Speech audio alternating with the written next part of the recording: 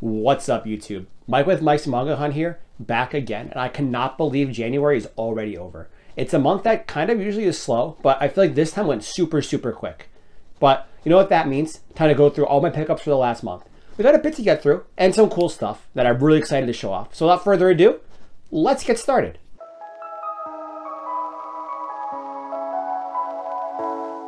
Right, so this month was definitely the tale of like kind of like two halves for me. Uh, the first half of this month, I was just buying a ton of manga. I was just buying series at a time, um, getting a bunch of bunch of good deals, like getting stuff done and everything. But then like halfway through the month, I kind of just like stopped cold, and I really didn't get much until like maybe a few days ago, towards the end the end of the month. Um, shelf space has definitely been kind of a concern lately. Um, as you can see, there's like there's not much room left for anything, but um, I haven't let that deter me too much. I mean, a couple things, yeah, but like the too much it hasn't deterred me because I kind of know that I'm going to be having more space eventually in the future. So if I got to put some things in storage for for now until like I get to that point, you know, that's what I got to do. With that being said, I got a lot of cool stuff that I'm really excited to share share with you. Um, a lot of very rewarding month in terms of a couple series, and we'll see that in a moment. So without further ado, I'm going to start talking and let's look at everything that we got. Right, so as usual, starting with all the new releases, we only got two, technically three, I think was a new release um, which has kind of like been like getting me a little sad because like a lot of the series I was collecting that come out new either like really shorten their like release schedules or I they're just like finished. So um, finding new things to collect that are still kind of like releasing has been tough, but I know eventually we'll find something will come up. But anyway, for new releases, we picked up uh, Dandadan Volume 2. Um, this is a new Shonen Jump series recommended to me by a friend. I did not read Volume 1, but um, the, the, the basis, I guess, of like the story intrigued me. So I wanted to kind of just get a few volumes as I get them, and then eventually kind of like just go through them and like read them a bit at a time. So I wanted to pick that up to kind of keep up with that series. So that's that. I also picked up um, Tatsuki Fujimoto's Before Chainsaw Man uh, 17 through 21. Uh, this is a bunch of short stories by the author of Chainsaw Man and Fire Punch. Now that he's become widely popular, like all around now. Um, this is the second kind of like non, second like kind of like shorter release that that that he's had. Because uh, Look Back came out maybe in like September-ish. So it's really, really cool kind of seeing his work get kind of like published over here more in English um, officially. So I'm going to collect it all the time. I'm to have like eventually I want to have like a little bit of like a Fujimoto like shelf where I have like Fire Punch, Chainsaw Man, and like things like this, maybe a few figures. So um, anything he releases, I'm going to pick it up. He's one of my favorites. Um, just very, very good, very, very good artist, very good drawings, stories, everything. I can't, I love it. I love it a lot. So I had to get this. I really love these kind of releases. So not going to complain there for anything. All right, and I also picked up this. I don't know that this came out. I think this came out before this month, but I'm calling it a new release anyway. I also picked up the Jujutsu Kaisen um, light novel. Now, I don't usually do light novels because it's just like, I don't know, they're kind of like side stories. I really don't have much to, uh, I really don't have much to go for it. But this was this was really really cheap when I picked it up. It was like six dollars at like Walmart. So I said, you know what, for the JJK shelf, I had to pick it up. Big fan of JJK anyway. I've been reading been reading kind of like weekly with it, so um, maybe one day I'll check this out, but for right now, it's kind of more of just like a display piece for the collection. And, uh, you know, that's fine with me. So like I said, it was cheap, so why not pick it up? There's that. All right, next we got My Hero Academia Volume 15. This was a thrift store find. It was a whole dollar. Um, I was waiting on My Hero for that box set that came out, but I've heard so many bad things about it. Uh, the prints being the Italy prints, um, just like not good quality altogether. So uh, I canceled my order and didn't actually end up buying it. Um, so I've kind of been kind of like finding volumes, I guess, as I go. Um, and here's volume 15. I found this one at the thrift store. I'm not going to say no to that. Um, definitely a series that's not on my priorities, mainly because like I just don't have the space to accommodate it. But um, a series I would, I would like to have at one point. I know a lot of people really like it. I know it's widely popular, and uh, one day I'd like to go through it. Anime-wise, I think I only read, I only watched up to season three, so uh, not a lot. But I hear it's just like popping off now. It's gonna be like ending like soonish. So I think once it finally ends, I might go through the whole thing. But uh, we'll see that when we get there, but pick that up at the thrift store. Not much, not really much to say about that one. All right, we got volume one of I"s. This is a Shonen Jump series. It was previewed in the magazine a long time ago. Um, this came out a long time ago, actually, um, when I was a lot younger. And uh, it was a series that like always intrigued me because it was like these like really hyper realistic like front covers. I'm like, what is this? Like, it's not a shojo. It's an SJ Advance like release, and uh, mainly because of the fact that it intrigued me. I was like, like now age, I was like, I, I, I got to get that series and see what it's all about. Um, this is the third volume I have. It is out of print, I believe, so it is very hard to kind of come by them. Um, but I saw this on like Amazon really, really cheap from like a used seller. So I said, you know what? I'm gonna pick this up. So now I can have three. I have three volumes of this, and I think eventually I want I want to try to read this because I've heard I have heard good things. Um, it's just a very very interesting and like weird series to kind of go for. But uh, there's I"s Volume One. Very happy to finally have that in my collection. All right, we got this. I'm not even gonna bother pronouncing this. I believe it's called. I believe it's called a Nijihara Holograph. This is a newer release that I did not realize um, by my favorite author, Inio Asano, the author of Goodnight Punpun, and Downfall, Dead Dead Demons, Girl on the Shore, pretty much all of like the fantastic series that I really, really like. Um, like I said, he's always gonna be my favorite. Like because his artwork is so beautiful, his storytelling so good, his coming of age stories are just incredibly good. Um, and I really, really enjoyed all of them that I've read. So this is something I definitely want to be reading soon. Um, and when I do, you guys, you guys will definitely be hearing about it. I'll have all my thoughts on this series. Um, I love it's like a I, I like it because like this, it's a very nice hardcover release. But at the same time, it is a larger volume that does not fit on the shelf with the rest of the Inio Asano stuff. So it's like it's like it's lone wolf like on the side for right now. But um, hopefully in the future I can put it, I can have enough space to kind of put it like with it. But very excited to finally read this. It is very pretty. I've, I've kind of flipped through some of the pages. The artwork looks great, just as usual. And it's just a very, very solid release altogether. So that's that one. Very excited to read this by my favorite author. All right, next we got a bit of series to get through, actually. Let's do this one first. Um, I'm very happy, actually, that we can start showing these off again because I'm just very, this was out of print for so long, or out of stock for so long, it's finally been reprinted. That's Yu Yu Hakusho. Picked up volume 7, picked up volume 8, picked up volume 9, and also picked up volume 11. So these are all the ones that I found kind of like in the wild and on Amazon recently. Um, I was collecting this at the beginning of like my journey and I had to stop because after volume like six, everything was like either out of stock or like it was just very, very hard to come by. And it took a very long time to get these reprinted. Um, and they're still slowly kind of coming back. So I've been kind of chipping away at it slowly.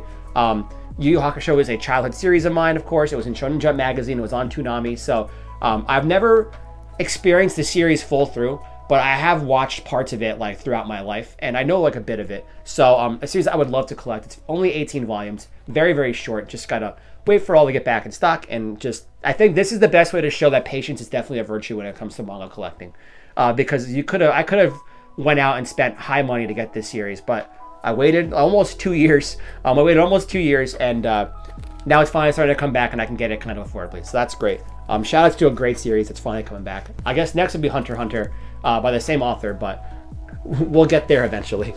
one series at a time, I guess. All right, we'll do this one next.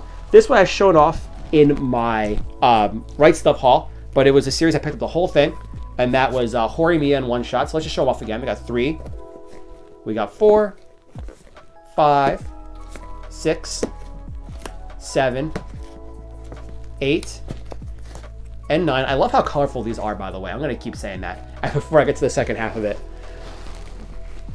And then we got 10, 11, 12, 13, and 14, which I thought was the end of the series. I thought I bought the entire series. Lo and behold, there's still two volumes that need to come out. Uh, one just did. I got to go to the store and pick that up when I get a chance. And the other one comes out in like June. I already pre-ordered that one, so I'm set for I'm set for that one now. But uh, this is a romance series that a friend would not stop recommending to me, and I finally caved in and bought the first two volumes. I want to say it was I think it was like in December actually. And then I read the first one. I thought it was very enjoyable, so I said, you know, I'll I'll, I'll keep reading this. And then it went on sale on Right Stuf on this crazy big like bundle sale. So I just said, you know what? I've been a while since I've done this. I'm just gonna buy it all, and I and I bought the whole series. Um, I'm currently reading something right now. Um, you guys will find out very soon. And then uh, once I finish that, though, I think I definitely want to like come back to this series because I know I've said it before, but like now that I've kind of finished a lot of the shonens that I've been reading, um, kind of kind of jumped into like the romance genre. And uh, this is another one, another slice of life romance that I've heard very good things about, and I cannot wait to try it. So that's Horimiya. I love the spines. I, I, love the colorfulness, and I love the front covers and stuff, just like the minimalist kind of thing. Um, so can't say enough about this, and I'm really, really excited to read this and happy to have it in the collection. All right, speaking of another little slice of life romance series, it's a series that if you've known me, you'll know that I love ever so dearly, and that's Nana. Picked up volume six, picked up seven, picked up eight, picked up 10, picked up 11, and if you thought we were done, we're not. I picked up volume 13, 14, 16, 17, and volume 18.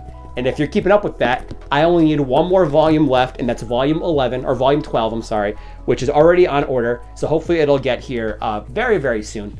Um, if you don't know by now, I love Nana to death. It was a series that I read the first volume and just very hard to get through, but watched the anime and it was just fell in love after that. The characters are great, the story is great, um, the setting, everything about it is just, just so good.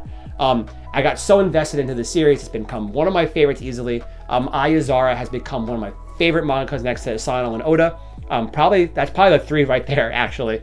Um, I cannot stress how much I love this series. It is so good, definitely worth the read. Um, the only thing again is that it doesn't have an ending because uh, the author got very very sick, and it's not looking like there's going to be one, unfortunately. But um, still, the, the journey to get to where we get to is just really really good. Very good storytelling, very good character development. Um, definitely one of the best series for development I've seen in a very very long time. So that's Nana. Uh, I love it to death. And if you didn't think I loved it enough to get all the volumes, I also bought this uh, PlayStation 2 game for Nana. Um, I do not know what you do in it. Uh, it's all in Japanese, so I can't even play it if I wanted to, unless I kind of, you know, go through some measures. But I figured for the shelf, when I finally had like my Nana shelf, um, it was a cool display piece, and um, I'm very excited to have this too. It was very, very cheap. I saw it on eBay, and I was like, I have to get that. Why not? So uh, that's Nana, the PS3 game. That's Nana altogether, like I said. Just one more volume, and I'm finished Nana, and I'm very, very happy when I get there, because that's a series I've really been wanting to collect for a long time. Highly recommend it. All right, we're coming to the end here. Uh, I'm going to save this for the end. So why don't we go through this? Here's a new series that I've been that I kind of started. I saw the uh, I finally like got wind of like the what it was, and I got very very intrigued. So I had to give it a shot. That's Blood on the Tracks. So there's Volume One, Volume Two, Volume Three, and Volume Four. I got this in a bundle off of Mercari, a site I like to frequent a lot for manga. Um, I did not know anything about this series. Um, besides, the author is an author of another series that um, I started kind of collecting called Happiness. And um, I read the synopsis of the first volume, and I was like, whoa, like, what is this? Essentially, it's like an overprotective mother um, who, where something happens on like a camping trip. Uh, I'm not getting into a lot of details. And uh, it's just kind of like the journey of like the boy, like, and like going through life, like with this with his like mother like hovering over him kind of thing. Um, that's not the whole story. There's more to that. Um, but I just kind of I'm just trying to be very very vague, and I haven't read anything yet. These came literally yesterday, so um, but this is a series I'm really really excited to start trying. Um, the author's name is Shuzo Oshimi, and um, their work seems to be pretty something that I'd be really interested in. So I'm gonna start with four volumes right now, and then I'm gonna keep going and see kind of where it goes. But this series I've heard nothing but good things about, and I'm very excited to kind of finally start reading this. Definitely. All right. And while we're on the topic of that author, um, also featured in the uh, Right Stuf sale that we opened up is Happiness, another series by that author. Uh, here's volumes two, three, and four. Another series I really want to start reading soon and kind of start collecting. Another kind of like underrated series I've heard a lot about of, and it's like more of like more psychological. So is uh, Blood on the Tracks, and uh, I kind of want to kind of venture in that genre because I like Death Note. I know these aren't like Death Note, but um, I kind of want to see more like in that kind of like category, I guess, of manga. So if this is what I got to go to to get that, that's fine with me. And I'm very, very excited to finally start like going for a new author and uh, seeing what their works are all like. All right. And then last but not least is probably the biggest thing uh, for me, at least personally, and that is volume 69, 73, and 74 of Bleach. And with that, I have finally completed my Bleach collection, which means I have finally completed the collection of the big three. I now know I now own every volume of Bleach, Naruto, and One Piece, and that is probably the biggest accomplishment I've felt in a very long time. Probably my biggest one in terms of like manga collecting. Because the way I got everything too, I'm just so proud of it. Besides One Piece, I guess Naruto and Bleach I exclusively got um, through like used book sites minus a few volumes on Bleach, but mostly just through used book sites and just like actually kind of like hunting them down like myself. Um, and it was very rewarding, very, very accomplishing, I want to say. And just overall, just made, makes, makes me feel so good.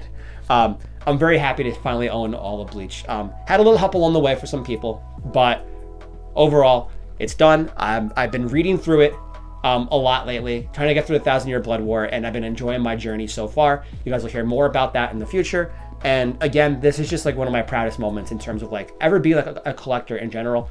And I'm just really, very excited I can always share that with you guys here. So that's everything right now. A lot of that, like I said, came at the beginning of the month, um, and I kind of slowed down towards the rest of it. Um, February, I think will be a little bit different though. I already have some stuff coming, and I kind of want to keep up on stuff. So I guess we'll see that when we get there. Um, more stuff, more announcements, I guess. Um, we have a Discord server again. Um, I'm always in there kind of just chatting up with people, um, sharing like my journey. You guys get some behind the scenes stuff in terms of like life and streams and stuff. Uh, so feel free to come join that. The link's always going to be below, as well as the link to uh, my Twitch page. Again, I stream usually two to three times a week, usually Sundays and Wednesdays around like 6 p.m. Uh, we've been playing through One Piece Odyssey, having a great, great time. Um, they're always just very, very chill, kind of like chatty times. Um, so if you ever want to come in, come say hello. Um, I love to talk One Piece. I love to talk manga, anything with anybody. So that's that. Um, you guys will see me again very shortly. I have more videos in the works. I know it's kind of a slow month, but um, got a few things planned, working on a few things, and uh, I will see you all then uh, when those videos come out in the future. So thank you guys for watching. Have a great night. Have a great day. And I'll see you all on the next occasion.